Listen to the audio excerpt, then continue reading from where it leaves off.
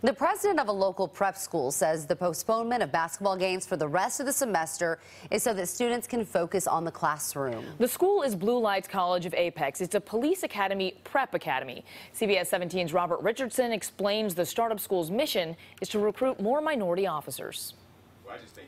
Apex Police Captain Jacques Gilbert wants better representation among police officers with more African Americans and Latinos. It's a challenge, and I would say from the African American male, um, I understand both sides. So, you know, you got one side saying that the police are doing it all wrong. I would say not all police are doing it wrong. He wants to change the perception of police and prepare teens for the academy, but they have to wait until they turn 20 for that. There are many youth out there that have a desire to go to the military or to a four-year university, and but there there are some students who don't want to do that. Uh, they're just looking for purpose, and we hope that our curriculum and what we have to offer is an attraction for them as well. One of those attractions was athletics with basketball and wrestling. Gilbert decided Monday to postpone games the rest of the semester to prioritize school over sports. Players are sad, but say they'll stick it out. Yeah, um, I have to, to be honest.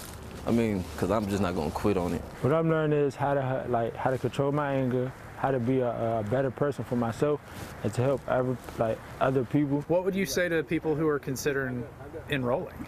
Uh, Blue Lights is a great decision if you want to get into law enforcement and the criminal justice field. Blue Lights offers a lot uh, when it comes to the classrooms, the uh, interactions. Students meet Thursdays with Gilbert and other instructors. Classes are held at a nearby church, with most coursework online. Community donations pay for the classes, and Gilbert says he has a partnership with Wake Tech for future enrollment in the police academy. He needs to operate another year before applying for accreditation. In Apex, Robert Richardson, CBS 17 News. And the two-year program begins with a foundational course of life and character skills. The second year is preparation for the basic law enforcement training academy.